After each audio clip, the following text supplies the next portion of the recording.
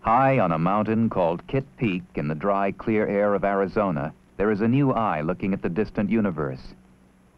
It is a highly sophisticated 158-inch telescope named for the astronomer who was the driving force behind its creation, Dr. Nicholas Mayall. Advances in technology make this huge and complex eye the most efficient and accurate ever to probe the heavens. What is the universe? How did it all begin? How will it end? We have one great messenger from these distant places that can perhaps give us some of these answers. That messenger is the light that they emit. Some of this light, the evidence we receive when it lands on our telescope mirrors, has been on its way for billions of years.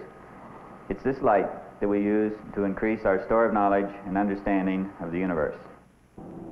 Qualified astronomers and graduate students from all over the world can come here to use this new eye.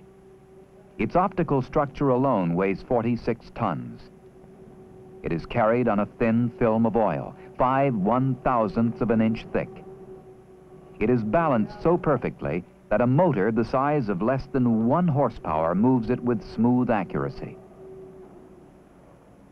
Large telescopes gather light from the universe with highly polished mirrors. Before the telescope's mirrors could be installed, each optical surface was polished to an accuracy of two millionths of an inch, a job that took more than three years. There is more than one way to look through this new eye.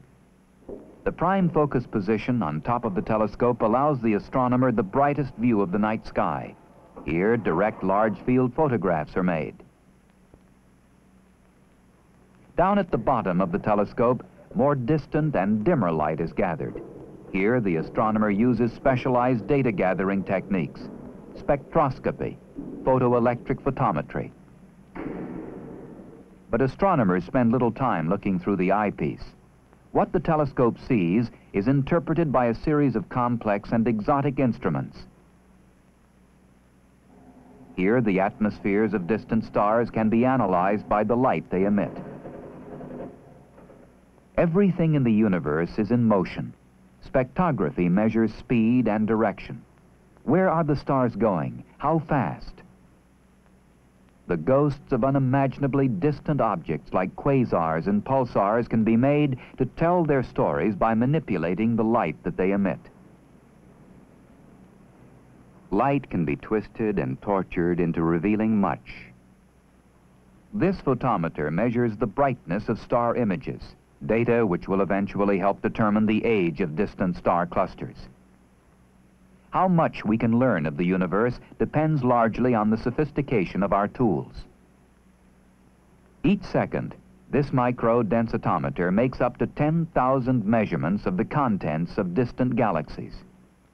Gas, dust, and its millions of suns. Bit by tiny, tiny bit, we learn more of the nature of things at the distant edges of the sky.